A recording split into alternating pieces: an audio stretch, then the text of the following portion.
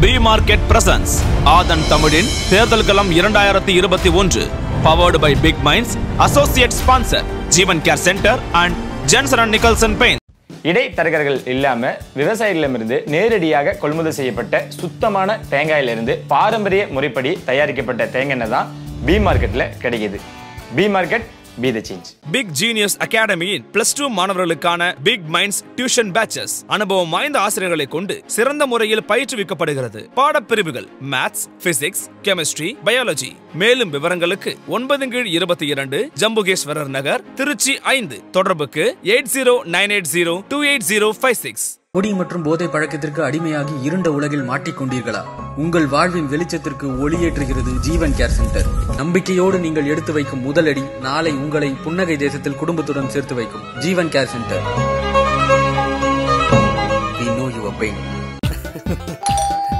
டக்குனு காயும் நச்சுன்னு ஜொலிக்கும். Jensen and Nicholson quick drying PU enamel Jensen and Nicholson Paints. தேர்தல் அறிக்கையை பார்த்து மக்கள் வாக்களிப்பார்களா சார்? கவர்ச்சியான திட்டங்கள் மக்களை அப்போதைக்கு கவர வேண்டும். அப்போதைக்கு வாக்கு பெறுவதற்கு உதவியாக இருக்கும். அது வந்து இந்த கவர்ச்சி திட்டங்களை தவிர்த்து விட்டு நாம் பார்த்தால் திமுகவின் தேர்தல் அறிக்கை என்பது ஓரளவுக்கு காரிய சாத்தியமுள்ள ஒரு அறிக்கையாக தெரிகிறது. அதிமுகவின் தேர்தல் அறிக்கையிலே நுரையால் காவிரி பாதிக்கப்படுகிறது என்று சொன்னபோது ஒரு அமைச்சர் அது துணி துவைப்பதற்காக சோப்பு போட்ட நுரை நிறைவேற்ற முடியாத வாக்குறுதி பட்டியலிலே தான் இந்த அம்மா வாஷிங் மிஷின் போய் சேரும் என்பது என் கருத்து. அதே போல வீட்டில் ஒருவருக்கு அரசு பணி அது எப்படி சாத்தியம்? அரசு பணிகளை குறைக்க வேண்டும் என்கிற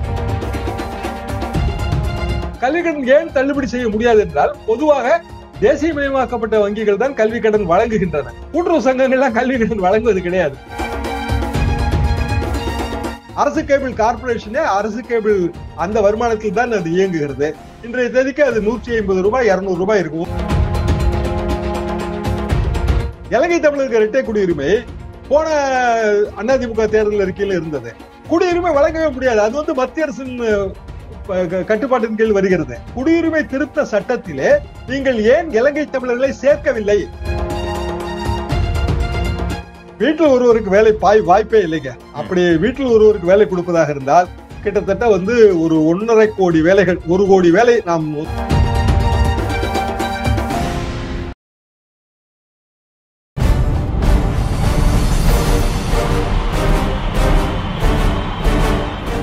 தமிழின் நம்பர் ஒன் அரசியல் யூடியூப் சேனலான ஆதன் தமிழ் நேயர்களுக்கு வணக்கம். கொடி பறக்கது நிகழ்ச்சியில் மீண்டும் உங்களோடு இணைவதில் மிக்க மகிழ்ச்சி. பல்வேறு துறைகளில் ஆகச் சிறந்த ஆளுமைகளை சந்தித்து நாம் நேர்காணல் எடுத்து வருகிறோம். அந்த வகையில் இன்றைக்கு நாம் பார்க்க இருப்பவர் மூத்த பத்திரிகையாளர் தராசு ஷியாம் நம்மிடையே இருக்கிறார். அவரிடம் கேட்பதற்கு நிறைய இருக்கின்ற வாருங்கள் அவரிடமே கேட்போம். வணக்கம் திரு தராசு ஷியாம் சார். வணக்கம் ஆதேஷ். சார் தமிழக தேர்தல் களம் பரபரப்பான ஒரு காட்சிகளை தான் அடுத்தடுத்த நாட்களில் நாம் பார்க்க போகிறோம். அது அந்த ஃபீவர் எலெக்ஷன் ஃபீவர் தொடங்கிவிட்டது அப்படின்னு தான் சொல்ல முடியும். தேர்தல் அறிக்கையை பொறுத்தவரை ஒவ்வொரு தேர்தலிலும் சில கட்சிகள் குறிப்பாக திமுக வந்து நாங்கள் வந்து தேர்தல் அறிக்கை ஒரு கதாநாயகன் அப்படின்னுலாம் கடந்த காலங்களில் பேசியிருக்காங்க. திமுக ஏற்கனவே தேர்தல் அறிக்கையை வந்து வெளியிட்டிருக்காங்க. அதே போல் அதிமுக நேற்றைய தினம் தேர்தல் அறிக்கையை வெளியிட்டிருக்கு. அமமுக தேர்தல் அறிக்கையை வெளியிட்டிருக்காங்க. பாட்டாளி மக்கள் கட்சி கூட இருபத்தி மூணு தொகுதியில் போட்டிடுறவங்க இருநூத்தி முப்பத்தி நாலு தொகுதிக்கும் சேர்த்து தேர்தல் அறிக்கையை வெளியிட்டிருக்காங்க. திரு சீமான் அவர்கள் நாம் தமிழர் கட்சி அவருடைய மேடையிலே சொல்றாரு வேணா எல்லாருக்கும் இலவசமான ஒரு கார் தரேன் அப்படின்னுலாம் ஒரு மேடையில பேசுறதை நம்மளால பார்க்க முடிந்தது.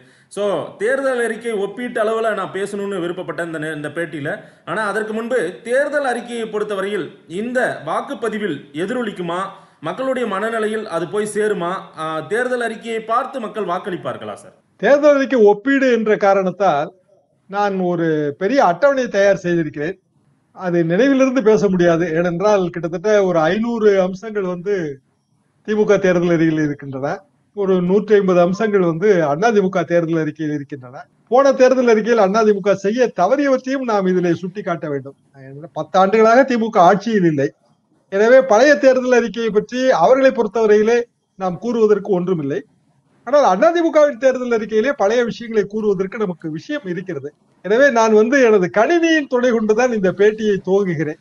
திமுக தேர்தல் அறிக்கையிலே ஒப்பீடு ரீதியாக பார்த்தால் இரண்டு தேர்தல் அறிக்கைகளிலும் இந்த ஜிபி டேட்டா அதாவது ஃபோர் ஜி ஃபைவ் ஜி மாதம் பத்து ஜிபி என்கிறது திமுக.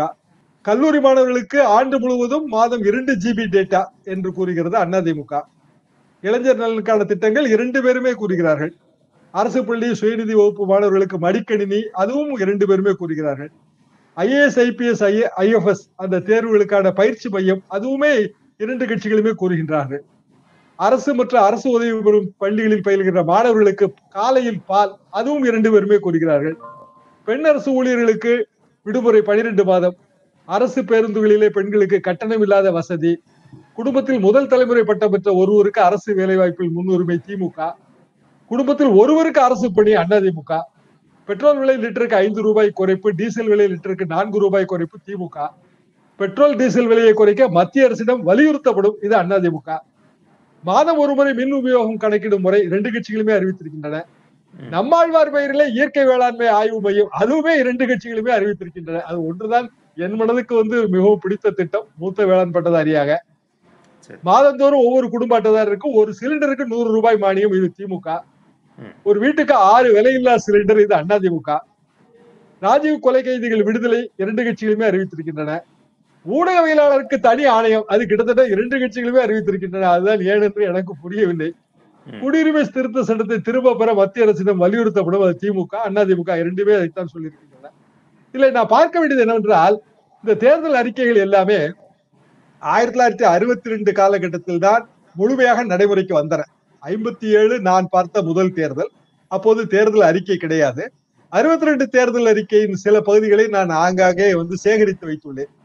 அதுல வந்து கவர்ச்சி திட்டங்களே கிடையாது. காங்கிரசும் திமுகவும் இரண்டு கட்சியுமே கவர்ச்சி திட்டங்கள் அறிவிக்கவில்லை. இன்னும் சொல்லப்போனால் திமுக வந்து ரொம்ப ஆக்கபூர்வமாக தூத்துக்குடி துறைமுக திட்டம் இப்படித்தான் வந்து கூறியிருந்தது. தூத்துக்குடி துறைமுகம் புதிய இந்திய இந்தி எதிர்ப்பு இது போன்ற விஷயங்களை தான் பண்பாட்டு ரீதியாகவும் ஒரு வளர்ச்சி ரீதியாகவும் கூறியிருந்தது. முதல் கவர்ச்சி திட்டம் அறிஞர் அண்ணா சொன்னதுதான். இந்த ரூபாய்க்கு மூன்று படி. அது ஆயிரத்தி தொள்ளாயிரத்தி அறுபத்தி ஏழு தேர்தல் நாங்கள் எல்லாம் கல்லூரி மாணவர்கள். அது நிறைவேற்றவே முடியாத ஒரு திட்டமாக போய்விட்டது. படியரிசி திட்டம். அதாவது மூன்று படி லட்சியம் ஒரு படி நிச்சயம். கடைசியிலே வந்து சென்னை கோவை இரண்டு நகரங்களில் மட்டும்தான் ஒரு படி ஒரு சில மாதங்களுக்கு தான் போடப்பட்டது. காரணம் என்னவென்றால் பல தேர்தல் அறிக்கைகள் வெறுமனே கவர்ச்சியான திட்டங்கள் மக்களை அப்போதைக்கு கவர வேண்டும். அப்போதைக்கு வாக்கு பெறுவதற்கு உதவியாக இருக்கும். என்கிற ரீதியில் தான் வந்து திட்டங்கள் சொல்லப்படுகின்றன. அது வந்து நமது ஜனநாயகத்தின் பெரிய குறைபாடு என்றுதான் நான் கருதுகிறேன். போன முறை வந்து சுப்ரீம் கோர்ட்டில் ஒரு வழக்கை இதற்காக போனது இது வந்து வாக்காளர்களுக்கு லஞ்சம் கொடுப்பதற்கு சமம். இப்படிப்பட்ட அறிவிப்புகளை தடுத்து நிறுத்த வேண்டும் என்று உச்சநீதிமன்றத்திலே வழக்கு போடப்பட்டது. ஆனால் உச்சநீதிமன்றம் அதற்கு மறுத்து விட்டது. அப்படி தடுக்க முடியாது. ஆனால் ஒவ்வொரு கட்சியும் தன் தேர்தல் அறிக்கையிலே சொல்லப்படுகிற திட்டங்களை எப்படி நிறைவேற்ற வேண்டும் என்பதற்கான நெறிமுறைகளை கூற வேண்டும். என்று சுப்ரீம் கோர்ட் சொன்னது. அதை வைத்து வந்து தேர்தல் ஆணையமும் பல்வேறு வழிகாட்டு நெறிமுறைகளை வெளியிட்டிருக்கிறது. ஆனால் இந்தியாவிலே எந்த கட்சியுமே அது போல செய்வது இல்லை என்பதுதான் வருத்தத்திற்குரிய விஷயம். நம்மை போன்ற ஊடகவியலாளர்கள் அதை எடுத்து கூறுகிறோம். இதுதான் இன்றைய தேதிக்கான நிலவரம். எஸ் இந்த தேர்தல் அறிக்கையை பொறுத்தவரையில் ஆஹ், திமுக கொடுத்த தேர்தல் அறிக்கையா இருக்கட்டும் அதிமுக கொடுத்த தேர்தல் அறிக்கையா இருக்கட்டும் இது மக்களிடையே போய் ரீச் ஆகுற அளவுக்கு மக்கள் வந்து ரொம்பவும் இப்படி ஒரு திட்டங்களை எல்லாம் நமக்கு அறிவித்திருக்காங்க. ஆட்சிக்கு வந்தா செய்ய போறேன்னு சொல்றாங்க அப்படின்னு ஈர்க்கக்கூடிய வல்லமை பொருந்திய ஒரு தேர்தல் அறிக்கையா நீங்க பார்க்கறது இந்த ரெண்டு தேர்தல் அறிக்கையில சார்? நான் திமுக தேர்தல் அறிக்கைக்கு கொஞ்சம் கூடுதல் மார்க் கூடுதல் மதிப்பெண் தான் போடுவேன்.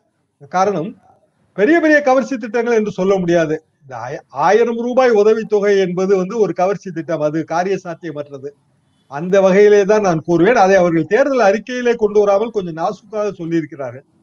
மற்றபடி வந்து பெட்ரோல் டீசல் விலை குறைப்பு என்பது அது சாத்தியமல்ல. ஏனென்றால் நமக்கு இருக்கிற வரி வருமானம் என்பதே வந்து எரிபொருள் மது பத்திரப்பதிவு ஒரு ஒரு சில துறைகள் தான் நமக்கு இருக்கிறது. எல்லாமே மத்திய அரசிடம் குவிந்து விட்டது. அப்படி இருக்கும்போது விலையை மேலும் குறைத்தால் நிதி சுமை கூடும். இப்போதே ஐந்து ஆறு லட்சம் கோடி ரூபாய் கடனிலே இருக்கிறது. திமுக ஆட்சிக்கு வந்தவுடன் இவ்வளவு பெரிய தொகையை அவர்கள் எங்கிருந்து புரட்டப் போகிறார்கள்? ஆட்சிக்கு வந்த ஒரு மாதத்திற்குள் சில விஷயங்கள் நடக்கும் என்று கூறியிருக்கிறார்கள். இந்த கவர்ச்சி திட்டங்களை தவிர்த்து விட்டு நாம் பார்த்தால் திமுகவின் தேர்தல் அறிக்கை என்பது ஓரளவுக்கு காரிய சாத்தியமுள்ள ஒரு அறிக்கையாக தெரிகிறது.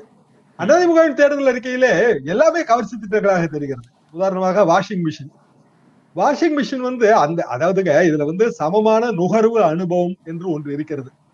ஏழை பணக்காரன் கிராமப்புறத்துல இருப்பவர்கள் நகர்ப்புறத்துல இருப்பவர்கள் அனைவருக்கும் சமமான நுகர்வு அனுபவம் வேண்டும். அதுதான் வந்து ஒரு சமூக நல அரசு. இது பல பொருளாதார நிபுணர்கள் கூறுகிற விஷயம்தான். ஜெயலலிதா காலத்திலே வந்து வழங்கப்பட்ட சில விஷயங்கள் உதாரணமாக மிக்சி கிரைண்டர் கலைஞர் காலத்திலே வழங்கப்பட்ட சில விஷயங்கள் உதாரணமாக இலவச கலர் டிவி இதெல்லாம் இந்த சம நுகர்வு அனுபவத்தை தருவதற்காக ஏற்படுத்தப்பட்டவை. ஐந்து ஆண்டுகளிலே ஓரளவுக்கு செய்து முடித்தார்கள். ஆனாலும் கூட ஐந்தாவது ஆண்டு முடிவிலே பல குடும்ப அட்டைதாரர்களுக்கு வழங்கப்படவில்லை என்ற புகார்கள் இரண்டு ஆட்சியிலுமே இருந்தன. திமுகவிலும் இருந்தது அண்ணா திமுகவிலும் இருந்தது. ஆனால் வாஷிங் மிஷின் என்கிற அந்த திட்டம் வந்து அது சம நுகர்வு அனுபவம் என்று சொல்ல முடியாது. காரணம் நீங்கள் கிராமப்புறங்களை எடுத்துக்கொண்டீர்கள் என்றால் பொதுவாக எங்கள் பகுதியிலே உதாரணமாக காவிரி பாய்ந்தோடுகிற இடங்களிலே அல்லது ஆற்று நீர் பாசனம் இருக்கிற இடங்களிலே வந்து வாய்க்கால் கரையோரங்களிலே தான் பொதுவாக மக்கள் துணி துவைப்பார்கள். இன்னும் சொல்ல போனால் நுரையால் காவிரி பாதிக்கப்படுகிறது என்று சொன்னபோது ஒரு அமைச்சர் அது துணி துவைப்பதற்காக சோப்பு போட்ட நுரை என்றெல்லாம் சொன்ன ஒரு கூத்தெல்லாம் கூட நடந்தது. அதனால் இந்த வாஷிங் மிஷின் கொடுக்கிற திட்டம் வந்து மறு மறுபரிசீலனை செய்யப்பட வேண்டும். அது வந்து கேட்பதற்கு கவர்ச்சியாக இருக்கிறதே தவிர அது சாத்தியம் அல்ல ஒன்று இரண்டாவது ஐந்து ஆண்டுகளுக்குள் அவ்வளவு பேருக்கும் கொடுக்கவும் முடியாது. அனைத்து குடும்பங்களுக்கும் என்று கூறியிருக்கிறார்கள். தமிழ்நாட்டிலே இருக்கிற அனைத்து குடும்பங்களுக்கும் அம்மா வாஷிங் மிஷின் என்று கூறியிருக்கிறார்கள். அனைத்து குடும்பங்களுக்கும் குடும்ப அட்டைதாரர்களுக்கு ஒரு செல்போன் என்பதுதான் ரெண்டாயிரத்தி பதினாறு அதிமுக அறிக்கை ஜெயலலிதா காலத்து அறிக்கை அந்த அறிக்கையில இருந்த விஷயம் பெருந்துறையில ஒரு கூட்டத்திலே வைத்துதான் அதை அவர் வெளியிட்டார். ஆனால் இன்றைய தேதி வரை அது கொடுக்க முடியவில்லை. மக்களும் அதற்காக காத்திருப்பதில்லை. காரணம் செல்போன் இல்லாமல் இந்த காலத்துல யார் இருப்பார்கள்? அனைவருமே வாங்கி விட்டார்கள். அப்படி இருக்கும்போது ஒரு நிறைவேற்ற முடியாத வாக்குறுதி பட்டியலிலே தான் இந்த அம்மா வாஷிங் மிஷின் போய் சேரும் என்பது என் கருத்து. அதே போல வீட்டில் ஒருவருக்கு அரசு பணி அது எப்படி சாத்தியம்? உங்கள் வீட்டுல ஒருவருக்கு அரசு பணி தர முடியுமா மாதேஷ்? நிச்சயமா முடியாது. உங்கள் அலுவலகத்திலே பணிபுரிபவர்கள் ஒவ்வொரு ஒவ்வொருவருக்கும் ஒவ்வொ- அந்த அவரவர் வீட்டிலே அரசு பணி தர முடியுமா? அரசு செலவினம் என்ன ஆகுது அரசு பணிகளை குறைக்க வேண்டும் என்கிற ஒரு காலம் வந்து விட்ட நேரத்திலே வீட்டில் ஒருவருக்கு அரசு பணி அதான் திமுக அறிக்கையிலாவது பரவாயில்லை. அதாவது முதல் தலைமுறை பட்டதாரிகள் அவர்களுக்கான அரசு பணி என்கிற ரீதியிலே அதுல வந்து ஒரு வகையான ரெஸ்ட்ரிக்ஷன்ஸ் இருந்தது. சில நிபந்தனைகள் இருக்கிறது. ஆனால் இதிலே வந்து நிபந்தனையே கிடையாது. ஒவ்வொரு குடும்பத்திலும் ஒரு அரசு பணியாளர் என்கிற ரீதியிலே கூறியிருக்கிறார்கள். ஆக இது வெறுமனே வந்து ஒரு வாக்கு சேகரிப்பதற்காக கூறப்படுகிற ஒரு விஷயம்தான். கல்வி கடன் தள்ளுபடி. கல்வி கடன் தள்ளுபடி ரெண்டு அறிக்கையிலுமே கிட்டத்தட்ட இருக்கிறது. அதிமுகவின் போன அறிக்கையிலும் இது இருந்தது. கல்வி கடன் தள்ளுபடி. ரெண்டாயிரத்தி பதினாறு அறிக்கையிலும். கல்வி கடன் ஏன் தள்ளுபடி செய்ய முடியாது என்றால் பொதுவாக தேசியமயமாக்கப்பட்ட வங்கிகள் தான் கல்வி கடன் வழங்குகின்றன. கூட்டுறவு சங்கங்கள்லாம் கல்வி கடன் வழங்குவது கிடையாது. அப்படி என்றால் நீங்கள் வந்து தேசியமயமாக்கப்பட்ட வங்கிகளுக்கு எவ்வளவு கல்வி கடன் இருக்கிறது கணக்கெடுத்து அதை வந்து நாம் வந்து செலுத்த வேண்டும். போன முறையாவது படித்துவிட்டு கல்வி கடன் வாங்கி வேலை இல்லாமல் இருப்பவர்களுக்கு என்று வந்து சில நிபந்தனைகள் இருந்தன. இந்த முறை அதெல்லாம் கிடையாது. எல்லாருடைய கல்வி கடனும் தள்ளுபடி செய்யப்படும். என்றால் அது எப்படி காரிய சாத்தியமாகும்? தேசியமயமாக்கப்பட்ட வங்கிகளுக்கு எப்படி பணம் காலங்கள்ல கொடுப்பார்கள்? கடந்த காலங்கள்ல இந்த கல்வி கடன் ரத்து செய்திருக்காங்கல்ல சார்? அதாவது எங்கள் காலகட்டத்துல ஒரு முறை செய்யப்படுதுங்க கல்வி கடன் ரத்து அப்போ வந்து ரொம்ப குறைந்த நபர்கள் தான் வந்து கல்வி கடன் வாங்கியிருந்தார்கள். இவர்கள் கூறுவது அனைவருக்குமான கல்வி கடன் ரத்து. உதாரணமாக ஒரு கிராமத்திலே மூன்று வருடத்திற்கு முன்னால் கல்வி கடன் ஒருவர் வாங்கி மூன்று வருடமாக வேலை பார்க்கிறார் என்று வைத்துக் கொள்வோம். அவருக்கும் கல்வி கடன் ரத்தாகும். காரணம் வந்து சாதாரணமாக கிராமங்களிலே படித்தவர்கள் அவர்கள் தகுதிக்கேற்ப வேலை கிடைக்காவிட்டாலும் ஏதாவது ஒரு வேலை அவர்கள் பார்த்து கொண்டுதான் வருகிறார்கள். கல்வி கடன் வாங்கி பொறியியல் கல்லூரி படிக்கிறார்கள். தகுதிக்கேற்ப வேலையில் இல்லாமல் இருப்பார்கள். ஆனால் ஏதாவது ஒரு வேலை பார்ப்பார்கள். மூன்றாண்டு நான்கு ஆண்டுகளாக வேலை பார்ப்பார்கள். இதற்கு வந்து இந்த ஆண்டிலிருந்து இந்த ஆண்டு வரை அந்த நிபந்தனையாவது இருக்க வேண்டும் அல்லவா? எல்லோருக்குமான கல்வி கடன் தள்ளுபடி என்பது வந்து ரொம்ப ஆர்பிட்டரி நேச்சர் அதாவது ரொம்ப தன்னிச்சையான ஒரு முடிவு. அரசு கேபிள் டிவி இணைப்பு அது விலை இல்லாமல் அரசு கேபிள் டிவி இணைப்பு என்கிறார்கள். அரசு கேபிள் கார்பரேஷனே அரசு கேபிள் அந்த வருமானத்தில் தான் அது இயங்குகிறது. இன்றைய தேதிக்கு அது நூற்றி ஐம்பது ரூபாய் இருநூறு ரூபாய் இருக்கும். உங்கள் கிராமத்துல எவ்வளவு மாதேஷ்? இருநூத்தி ஐம்பது ரூபாய் கிட்ட கூட வந்துருது. இருநூத்தி ரூபாய். எங்கள் பகுதியில வந்து நூற்றி எழுபத்தி ஐந்து முதல் இருநூறு வரை. இருநூறு ரூபாய் வந்து ஒரு குடும்பத்திற்கு வந்து இலவச கேபிள் தர முடியுமா? அப்படி என்றால் அரசு கேபிளுக்கான நிதி ஆதாரத்தை எப்படி கொடுப்பார்கள் இவர்கள்? எப்படி மானியம் கொடுப்பார்கள்? இலங்கை தமிழருக்கு இரட்டை குடியுரிமை போன அதிமுக தேர்தல் அறிக்கையில இருந்தது. குடியுரிமை வழங்கவே முடியாது. அது வந்து மத்திய அரசின் கட்டுப்பாட்டின் கீழ் வருகிறது. அவர்களே அதை கேட்கவில்லை. அவர்கள் என்ன கேட்கிறார்கள் என்றால் எங்களுக்கு இந்திய குடியுரிமை வழங்குங்கள் என்றுதான் கேட்கிறார்கள். நமது குறைபாடே என்னவென்றால் குடியுரிமை திருத்த சட்டத்திலே நீங்கள் ஏன் இலங்கை தமிழர்களை சேர்க்கவில்லை? அவர்கள் கிட்டத்தட்ட முப்பது ஆண்டுகளாக இங்கு இருக்கிறார்கள். அவர்களும் இந்துக்கள் தானே. அவர்களை ஏன் சேர்க்கவில்லை என்பதுதான் மத்திய அரசை பார்த்து நாம் வைத்த கேள்வி. இரட்டை குடியுரிமை அல்ல. போன முறையும் இதை சொன்னார்கள். போன முறையும் இந்த குறைபாட்டை சுட்டிக்காட்டினோம். இந்த முறையும் அதை சொல்லி இருக்கிறார்கள் அது வேண்டுகோளும் அல்ல. இலங்கை தமிழர்களின் வேண்டுகோளும் அல்ல. இரட்டை குடியுரிமை வழங்குவதற்கு இலங்கையின் சம்மதம் நீங்கள் பெற வேண்டும் அல்லவா? அதாவது தமிழ்நாட்டு அளவிலே என்னென்ன விஷயங்களை செய்வோம் என்று கூறுவதிலே நான் புரிந்து கொள்கிறேன். ஆனால் அகில இந்திய அளவிலே சொல்வதை நான் நிச்சயமாக அதை ரொம்ப அது நகைச்சுவையாக இருக்கிறது. உதாரணமாக நமது சென்னை உயர் நீதிமன்றம் அது வந்து ஹைகோர்ட் ஆஃப் மெட்ராஸ் நான் வழக்கறிஞராகவும் கூறுகிறேன். அந்த பெயரை நீங்கள் மாற்றவே முடியாது. ஏனென்றால் அது வந்து உச்ச நீதிமன்றத்தால் முடிவு செய்யப்பட்டு சென்னை உயர் நீதிமன்றத்தால் உறுதி செய்யப்பட்டது. நாம் வழக்கிலே சென்னை உயர் நீதிமன்றம் என்று சொல்கிறோமே தவிர நமது கேஸ்லா நமது வழக்குகள் எல்லாமே தலைப்பிலே வந்து high court of judicature at Madras என்றுதான் போட்டு இருக்கும் காரணம் உலகளாவிய வழக்குகள் வரிசையிலே நமது பட்டியல் இருக்கும். அதை நீங்கள் மாற்றவே முடியாது. அப்படி இருக்கும்போது நீதிமன்றத்தின் ஒரு பரிபாலனத்தில் இருக்கிற விஷயத்தை ஒரு கட்சி தனது தேர்தல் அறிக்கையிலே கூறுவது என்ன நியாயம்? அதிமுகவின் தேர்தல் அறிக்கையிலே நீதிமன்றங்களில் தமிழ் வழக்காடு மொழி. இது ஏற்கனவே வந்து நீதிமன்றத்திலேயே அடிபட்ட விஷயம். நமக்கு ஆசை. ஆனால் அது நீதிமன்ற பரிபாலனத்திற்கு உட்பட்டது. கோர்ட் மாற்ற வந்து தேர்தல் அறிக்கையில அதிமுக சொல்றது எனக்கு பெரிய வேடிக்கையா இருக்குங்க. இதுல டிடிவி தினகரன் இந்த இலவச திட்டங்களை எல்லாம் விமர்சிக்கிறார். அது ஒரு கவர்ச்சி திட்டத்தும் கவர்ச்சி திட்டத்திற்காக இப்ப வந்து வாக்குகளை பெறுவதற்காக சொல்லியிருக்காங்கன்றாங்க. ஆனா வீட்டில் ஒருவருக்கு வேலை அவருடைய அறிக்கையில கூட அவர் குறிப்பிட்டதை நம்ம பார்க்க முடியுதுல்ல வீட்டில் ஒருவருக்கு வேலை பாய் வாய்ப்பே இல்லைங்க. அப்படி வீட்டில் ஒருவருக்கு வேலை கொடுப்பதாக இருந்தால் கிட்டத்தட்ட வந்து ஒரு ஒன்றரை கோடி வேலைகள் ஒரு கோடி வேலை நாம் வந்து உடனடியாக அரசு துறைகளிலே உருவாக்க வேண்டும். அது எப்படி சாத்தியம்? என்னுடைய கேள்வி என்னவென்றால் ஒரு சாத்தியமானவற்றை நாம் சொல்லும் போது அதனால் நிதி சுமை அது அது வேறு விஷயம். உதாரணமாக அரசு கேபிள் இலவச அரசு கேபிள் நிதி சுமை வருகிறது. அது வேறு விஷயம். ஆனால் சாத்தியமே இல்லாத விஷயம். இந்த வீட்டுக்கு ஒருவருக்கு அரசு வேலை சாத்தியமே இல்லாத விஷயம். அதே நேரத்தில் டிடிவி தேர்தல் அறிக்கையில் இருக்கிற வேறு சில விஷயங்களை நான் வரவேற்கிறேன். ஆனால் இது வந்து வரவேற்க முடியாது. எல்லா தேர்தல் அறிக்கையும் ஒட்டுமொத்தமாக வரவேற்க முடியாது அல்லவா? இப்ப தமிழ் கட்டாய பாடமாக்கப்படும். எல்லா தேர்தல் அறிக்கையிலும் இருக்கிறது. நாம் கண்டிப்பாக வரவேற்கிறோம். அதே நேரத்தில் மாதந்தோறும் மின் பயன்பாடு. அது திமுக தேர்தல் அறிக்கையில் இருக்கிறது அதிமுகவில் இருக்கிறது அமமுகவில் இருக்கிறது. நமது கோரிக்கையும் கூட. ஏனென்றால் ரெண்டு மாதங்களுக்கு ஒரு முறை மின் மின் கட்டணம் செலுத்தும் போது அதுல நாம் வந்து அந்த லிமிட்டை வந்து எக்ஸீட் பண்ணுகிறோம். எனவே அதிக மின் கட்டணம் செலுத்துகிறோம். இது கண்டிப்பாக நாம் செய்ய வேண்டியது. ஆனால் நம்மாழ்வார் பெயரில் அதெல்லாம் வந்து எல்லோருமே வரவேற்கத்தான் செய்வார்கள். ஆனால் இது போன்ற விஷயங்கள் இது போன்ற விஷயங்கள் வந்து காரிய சாத்தியம் இல்லாதது. Politics is art of possible இல்லையா? சாத்தியமானவற்றை செய்யும் கலைதானே அரசியல். சாத்தியம் இல்லாததை எதற்காக வந்து இவர்கள் வந்து தேர்தல் அறிக்கை என்ற பெயரிலே மக்களை வந்து திசை திருப்புகிறார்கள் என்பதுதான் என் கேள்வி. திமுக ஆயிரம் ரூபாய் அறிவிப்பு அதிமுக ஆயிரத்தி ஐநூறு ரூபாய் அறிவிப்பு. பெண்களுக்கு கொடுக்குறேன்னு சொல்றது இலவச பேருந்து மாநகர பேருந்துல பயணித்துக் கொள்ளலாம் அப்படின்னு சொல்றதா இருக்கட்டும். அதே போல இது எல்லாமே வந்து அதிமுக திமுகவை பொறுத்தவரையில கொடுக்கக்கூடியதெல்லாம் இதுல பெரிய அளவுக்கு அதிமுக கொடுத்திருக்கிற இந்த இலவச திட்டங்கள் அது ஒரு ஒரு ஈர்ப்பு ஒரு ஈர்ப்புத்தன்மை கொடுக்கக்கூடிய அளவுக்கு மக்கள் வந்து ஏற்கனவே இலவச திட்டங்களுக்கு மயங்கி கிடக்கிறார்கள்னு ஒரு விமர்சனம் எல்லாம் இருந்துட்டு இருக்குது. பல கட்சிகள் புதிதாக ஆரம்பிக்கிற பலர் வந்து சொல்றாங்க திரு சீமான் போன்றவர்கள்லாம் சொல்றாங்க.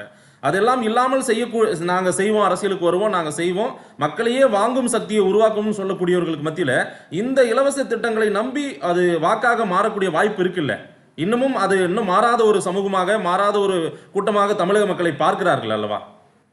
ரெண்டாயிரத்தி இருபத்தி ஒன்று தேர்தல் இதற்கெல்லாம் முற்றுப்புள்ளி வைத்து விடும் ஆதேஷ். அது நீங்க ஒன்றும் சந்தேகமே பட வேண்டாம். காரணம் என்னன்னா மக்கள் வந்து இப்போ விழிப்புணர்ச்சி அடைஞ்சிருக்கிறாங்க. ஒன்று. இரண்டாவது உங்களை போன்ற சமூக ஊடகங்கள். நீங்கள் எல்லாம் எல்லா செய்திகளையும் வந்து அவரவர் வீட்டு செல்போனுக்கு கொண்டு போய் சேர்க்கிறீர்கள். ஏற்கனவே இது இந்த அறிப்புகள் வந்தவுடனேயே இதை பற்றிய விமர்சனங்கள் எல்லாமே கிராமங்களிலே கூட வந்து விட்டது. இப்போது நம்மை போன்றவர்கள் இதை பற்றி பேசுவோம். முன்பெல்லாம் வந்து பத்திரிகைகள் மட்டுமே இருந்த காலகட்டம். இலவசங்களுக்கு மயங்கினார்கள். அதற்கு பிறகு வெறும் டிவி மட்டும் வந்துச்சு. அப்ப இதெல்லாம் விரிவா பேசுறதுக்கு வழி இல்லை. இப்ப நீங்க இதை விரிவா பேசுறதுக்கே ஒரு நிகழ்ச்சி ஏற்பாடு பண்றீங்க. அப்படி இருக்கும்போது இதுல இருக்கிற காரிய சாத்தியம் சாத்தியமற்றதை வந்து தாராளமாக மக்கள் புரிந்து கொள்வார்கள். வெறுமனே வந்து அம்மா வாஷிங் மிஷினுக்கு மயங்கி அதிமுக ஓட்டு போட்டுருவாங்கன்னு எனக்கு நிச்சயமா தோணலைங்க. அரசு வீட்டில் ஒருவருக்கு அரசு வேலை நம்ம குடும்பத்துல அரசு வேலை வந்துடும் அதிமுக ஓட்டு போட்டுருவாங்கன்னு எனக்கு தோணவே இல்லை. அப்படின்னா உங்க ஊர்ல உங்க உங்க வீட்டுக்கு பக்கத்து வீட்டுல இருக்கவங்க நம்ம வீட்டுல ஒருத்தருக்கு அரசு வேலை வந்துருங்க அதிமுக ஓட்டுன்னு சொல்லுவாங்கன்னு நினைக்கிறீங்க. அது எப்படி சாத்தியம் தானே கேட்பாங்க. ஒரு பத்து வருஷத்துக்கு முன்னாடி இதெல்லாம் பேச்சு பேசு பொருளா இருந்திருக்குங்க. இன்னைய தேதிக்கு இது பேசு பொருளா இருக்காது. இது எதிர்மறை விளைவைத்தான் தோற்றுவிக்குங்கிறதா என்னோட கருத்து. அதிகப்படியான பெட்ரோல் டீசல் விலை உயர்வு காய்கறி விலை உயர்வா இருக்கட்டும் கேஸ் சிலிண்டர் விலை உயர்வு கடந்த மூன்று மாதத்திலே நூற்றி நூற்றி ஐம்பது ரூபாய் கிட்ட உயர்ந்திருக்கிறதெல்லாம் நம்மளால பார்க்க முடியுது. ஸோ ஆறு கேஸ் சிலிண்டர் இலவசமாகவே கொடுக்குறேன்னு அதிமுக சொல்லியிருக்குல்ல இது பெண்கள் மத்தியில் ஒரு வரவேற்பு கொடுக்காதா? அதாவது மேலிருந்து வாரியா பார்த்தா நமக்கு வரவேற்பு கிடைக்கும் மாதிரி தோணுது. ஆனா பெண்கள் என்ன சொல்றாங்கன்னா இது எப்படிங்க சாத்தியம்? ஆறு சிலிண்டர் எப்படி கொடுப்பாங்க ஏமாத்துறாங்க அப்படின்னு தான் சொல்றாங்க. இது வந்து ஒரு கட்சியோட ஒரு கௌரவத்தையும் அதோட நம்பகத்தன்மையும் குறைக்குதுங்க. வா, நான் வந்து நீங்களும் நான் எல்லாம் தேர்தல் நிக்க போறோம்னு வைங்க. ஒரு குடும்பத்துக்கு வந்து மாசம் மாசம் பத்தாயிரம் ரூபாய் கொடுப்போம் அப்படின்னா நம்பி ஓட்டு போட்டுருவாங்களா? சாத்தியமா சாத்தியம் இல்லையான்னு பார்க்க மாட்டாங்களா ஜனங்க? சரி. அப்போ நம்ம நம்பகத்தன்மை போயிடும் இப்ப நீ வந்து பத்திரிகையாளரா செய்திகளை சொல்றோம். எல்லாமே தவறான செய்திகளை நம்ம சொல்றோம்னு வச்சுக்கோ. ஜனங்க எப்படி நம்மளை நம்புவாங்க? ஒப்பிட்டு பார்க்க மாட்டாங்களா? அப்படி வராதுங்க. வெறுமனே வார்த்தைகளை அள்ளி தெளிப்பதால் மட்டுமே எப்படி நம்பகத்தன்மை வந்துரும்னு நினைக்கிறீங்க? பூரண மதுவிலக்கு கொண்டு வரணும். ஜெயலலிதாவோட ரெண்டாயிரத்தி பதினாறு வாக்குறுதி அது. உங்களுக்கு ஞாபகம் இருக்கும். படிப்படியாக கடைகளை குறைத்து பூரண மதுவிலக்கு ஐந்து ஆண்டுகளில் பூதன பூரண மதுவிலக்கு. இது வந்து ஐந்து ஆண்டுகள்ங்கிறது ஒரு சாத்தியமான காலக்கெடு. முதல்ல கொஞ்சம் கடைகளையும் குறைச்சாங்க. இப்போ முழுக்க முழுக்க அதை விட்டாச்சு. டோட்டலா அதிமுக அறிக்கையில ரெண்டாயிரத்தி இருபத்தி ஒண்ணு அறிக்கையில அதை பத்தி பேச்சே இல்லை. ஆனால் அமமுக அறிக்கையில ஒரு விஷயம் சொல்லியிருக்காங்க. என்னன்னா மது ஆலைகளை வந்து இனிமேல் புதுசா திறக்கிறதுக்கு அனுமதிக்க மாட்டோம். இருக்கிற மது ஆலைகளையும் நம்ம வந்து கண்ட்ரோல் பண்ணணும் அப்படின்னு. ஓரளவுக்கு அது சாத்தியமான ஒரு விஷயம் தான் திமுக அறிக்கை அதை வந்து சுத்தமா அதை கண்டுக்கவே இல்லை. எதற்காக நான் சொல்றேன்னா நுணுக்கமான சில வேறுபாடுகள். மதுக்கடைகளை குறைப்போம்னு சொன்னா ஜனங்களும் நம்ப போறது இல்ல. காரணம் வந்து இன்னைக்கு கிராமந்தோறும் புற்றீசல் மாதிரி இருக்கிறது மதுக்கடை தான் ஒரு ரெண்டு ஏக்கர் மூணு ஏக்கர் வச்சிருக்கணும் நிலைமை என்னன்னா விவசாய பணிபுரிய வர்ற விவசாய தொழிலாளர்கள் மதுவுக்கு அடிமையானதுனால பழைய மாதிரியான ப்ரொடக்டிவிட்டி இல்லை. அவங்களுக்கு வேலை பார்க்கிற திறன் குறைவாக இருக்கிறது. வேலை பார்க்கிற நேரம் குறைவாக இருக்கிறது. இப்படியான நிலைமையில கிராமங்கள் இருக்கு. அப்போ மதுவிலக்கு பிரச்சாரம் நம்ம குடும்ப கட்டுப்பாடு பிரச்சாரம் ஒரு காலத்துல பெரிய அளவுக்கு நம்ம பண்ணோம். அதோட விளைவை இப்ப நம்ம வந்து கண்கூடா பார்க்கிறோங்க. ஒரு காலத்துல குடும்ப கட்டுப்பாடு நாடகம் நடத்துறது இதெல்லாம் பல நாடக கலைஞர்களுக்கு வாழ்வாதாரமாவே இருந்துச்சு. இன்றைக்கு வந்து நம்மளே வந்து சிறு குடும்பங்கிறத நம்மளே வந்து ஒத்துக்கிறோம். நிறைய குடும்பங்கள் புதிய குடும்பங்கள்ல தான் ஒரு குழந்தைக்கு மேல இல்ல. அப்போ பிரச்சாரத்தை நம்ம வந்து பெருக்கணும். மதுவால் ஏற்படும் தீமைகளை பற்றிய பிரச்சாரத்தை பெருக்கி மதுவற்ற ஒரு சமுதாயத்தை நம்ம உருவாக்குறதுக்கு முயற்சி பண்ணணும்.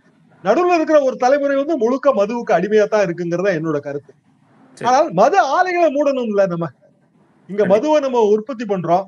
அந்த ஆலைகள் அப்ப வேற மாநிலத்துக்கு போய் அவங்க மது குடிக்கலாமா? இறுதியா ஒரு கேள்வியோட முடிக்கிறேன் சார். இதுல பாட்டாளி மக்கள் கட்சியும் தேர்தல் அறிக்கையை வெளியிட்டிருக்காங்க. அதே போல மக்கள் நீதி மையம் அவங்களும் தேர்தல் அறிக்கையை வெளியிடுவதற்கான வாய்ப்புகள் இருக்க போல தான் தெரியுது. தேமுதிக அவங்களும் தேர்தல் அறிக்கை மதிமுக கூட தேர்தல் அறிக்கையை வெளியிடுறாங்க. ஸோ தேர்தல் அறிக்கையை பொறுத்தவரையில் அது ஒரு வீழ்ச்சி இருக்கும் அது ஒரு வாக்காக பெற முடியும்னு நினைக்கிறாங்களே அதற்கு உங்களுடைய பதில் சார். சம்பிரதாயமா தாங்க இருக்கு. இப்போ பெரிய கட்சிகள் இருநூற்றி முப்பத்தி நான்கு தொகுதிகளிலும் போட்டுப்படுகிற கட்சி வந்து தேர்தல் அறிக்கை வெளியிடலாம். அதுல நான் தவறு காணவில்லை. ஆனால் இருபத்தி மூன்று தொகுதிகள் தான் பாட்டாளி மக்கள் கட்சிக்கு. அவங்களோட தேர்தல் அறிக்கையை படிச்சு பார்த்தா அது தமிழ்நாட்டுல ஆட்சிக்கு வந்தா தான் அதெல்லாம் செயல்படுத்த முடியும். அப்ப அவங்க ஆட்சிக்கு வரப்போறது இல்ல. கூட்டணி ஆட்சி அதிமுக இல்லைன்னு முதலே சொல்லிருச்சு. அப்படின்னா அந்த தேர்தல் அறிக்கை வெளியிடுவதால் என்ன பயன் இருக்கு? அதே மாதிரி வந்து மதிமுக வெறும் அஞ்சு இடம். அதுவும் வந்து உதயசூரியன் சின்னத்துல நிக்கிறாங்க. அப்ப திமுக தேர்தல் அறிக்கை தானே அவங்க தேர்தல் அறிக்கையா இருக்க முடியும்? சரி அரசியல் கூட்டணிகள் அமைக்கிறாங்களே. எல்லா கூட்டணிகளும் சேர்ந்து என்னைக்காவது ஒரு பொதுவான அஜெண்டா கொடுத்திருக்காங்களா? பொதுவான தேர்தல் அறிக்கை. எந்த காலத்திலயாவது கொடுத்திருக்காங்களா? எத்தனையோ கூட்டணிகள் நம்ம பார்த்திருக்கோம் இல்லையா? நியாயமா பார்த்தா என்ன பண்ணணும்? ஒரு கூட்டணி வந்து ஒரு பொதுவான தேர்தல் அறிக்கையை தரணும்ல. அப்படி நம்ம தரதே இல்ல. அப்போ அஞ்சு சீட் வாங்குறவங்க வந்து தேர்தல் அறிக்கை கொடுத்து பயன் இல்லை. அறுபது சீட் வாங்குறவங்களும் தேர்தல் அறிக்கை கொடுத்து பயன் இல்லை. கூட்டணிக்கான தேர்தல் அறிக்கையா இருந்தா அது ஓகே. இல்ல இருநூத்தி முப்பத்தி நாலு தொகுதியில கமல் நிக்கிறாரு.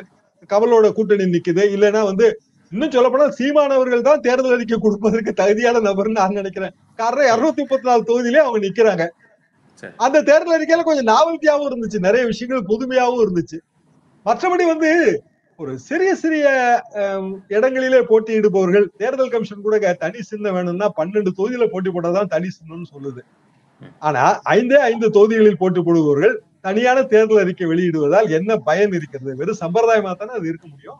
தேர்தல் அறிக்கை ஒரு சம்பிரதாயம் தான் அதே போல தேர்தல் அறிக்கையில் கொடுக்கக்கூடிய இலவசங்களை பார்த்து அதை ஓட்டு போடும் காலம் மலையேறி விட்டது. இந்த ரெண்டாயிரத்தி இருபத்தி ஒன்று அதுக்கு ஒரு முற்று பிறக்கும் அப்படின்னு எல்லாம் சொல்லியிருக்கீங்க. அதே போல் தேர்தல் திமுக வர்சஸ் அதிமுகவின் தேர்தல் அறிக்கை ஒப்பீட்டு அளவில் நிறைய விஷயங்கள் சொல்லியிருக்கீங்க. கடந்த காலங்களில் இரண்டு கட்சிகளும் கொடுத்த தேர்தல் அறிக்கையில் இன்னும் செய்யாததையும் நீங்கள் பதிவிட்டிருக்கீங்க. மக்கள்கிட்ட கொண்டு போய் கொடுக்குறோம். இணைப்பில் வந்து பேசியமைக்கு நன்றி திரு தராசிஷாம் சார். நன்றி நேர்களே. மீண்டும் ஒரு குடிப்பறக்கத்து நிகழ்ச்சியில் சந்திப்போம்.